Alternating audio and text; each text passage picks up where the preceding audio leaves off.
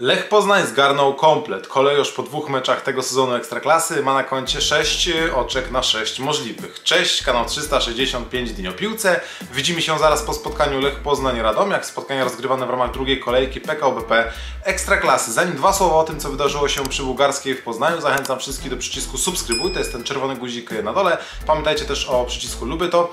Pod materiałem bardzo fajne spotkanie. Spotkanie bardzo gorące, intensywne. No myślę, że tutaj jakby no, wrażeń nie zabrakło jeżeli chodzi o boisko, ale też mm, na trybuny. E, fajny mecz, fajny mecz ze strony Lecha, dużo gry ofensywnej, która mogła się podobać i też e, byłem właśnie ciekaw, jakiego Lecha możemy zobaczyć, no bo dotąd to był ten mecz e, z Piastem, gdzie rzeczywiście no, ta murawa jest trudna, no i rywal niewygodny. Lech w konfrontacji z Żalgrisem Kowno, gdzie momentami no, to była taka gra, powiedziałbym, przyjemna, czasami trudna. Dzisiaj natomiast wydawało się, że to będzie spacerek. Mówiąc szczerze, nie miałem jakichś wygórowanych oczekiwań względem Radomiaka, natomiast ta drużyna też im imponuje. Imponuje takim, powiedziałbym, ofensywnym usposobieniem, czasami bezczelnością w grze do przodu. Pokazała to chociażby w tym meczu z Górnikiem, kiedy wygrała z drużyną z Zabrza 2 do 0. No i dzisiaj też była bliska e, trafienia, ale po kolei. No generalnie mówimy tutaj o Lechu, który cały czas napiera. Przede wszystkim e, duże słowo uznania dla Dino Hoticza, który myślę, że skradł show, zwłaszcza w pierwszej części meczu. No to wyróżniająca się postać Lecha Poznań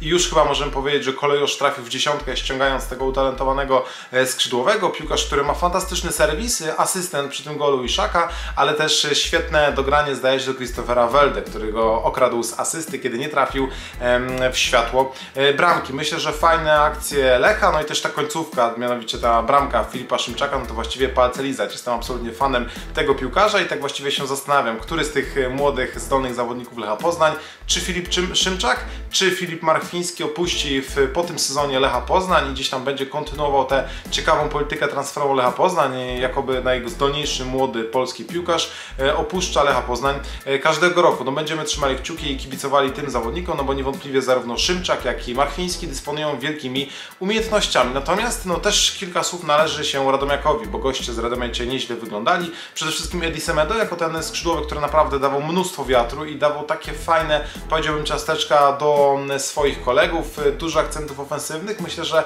jeżeli chodzi o grę w obronie, no z pewnością trzeba tutaj nad kilkoma elementami popracować, no ale też nie ma co się dziwić, bo wiadomo, że kiedy ta poznańska lokomotywa się rozpędzi, zwłaszcza przed swoimi trybunami, mam nadzieję, że ten bilans meczów u siebie mm, z perspektywy Lecha będzie zdecydowanie lepszy niż przed rokiem. Pamiętamy jak to wyglądało. Podopieczni Johna van der Broma często zawodzili, zwłaszcza w meczach u siebie.